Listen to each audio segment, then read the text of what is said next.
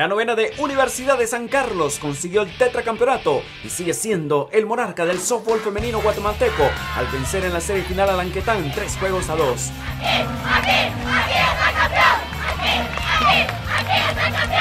El sábado a primera hora se disputó el tercer juego y a un out de finalizar las acciones, un cuadrangular de Rocío Samayoa salvó las universitarias de la derrota, dejando el marcador final tres carreras a cuatro a favor de las estudiosas.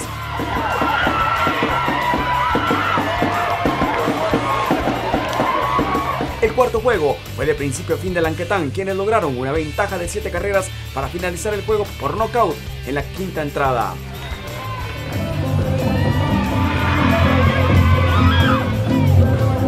En el quinto juego, disputado el domingo, las universitarias desde la primera entrada anotaron las carreras de Rocío Samayoa y la nicaragüense Karen Gutiérrez, así como un cuadrangular conectado por la dominicana Giovanni Núñez y que dejaba el marcador parcial de 0-3 a favor de las universitarias.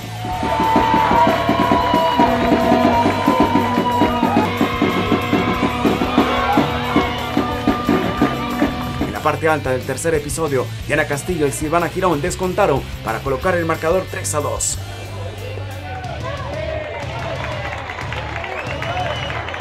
En la cuarta entrada anotaron nuevamente las estudiosas y Karen Gutiérrez, tercera base de universidad, fue expulsada en una jugada de home contra la receptora de Lanquetán Alejandra Martínez.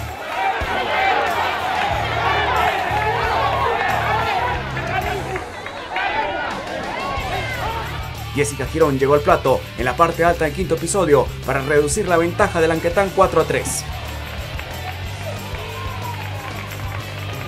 En su último turno al bat, Lanquetán intentó empatar la serie, pero la lanzadora Giovanni Núñez dominó la ofensiva de Lanquetán para cerrar el partido y coronarse por cuarta vez consecutivas campeonas del softball femenino.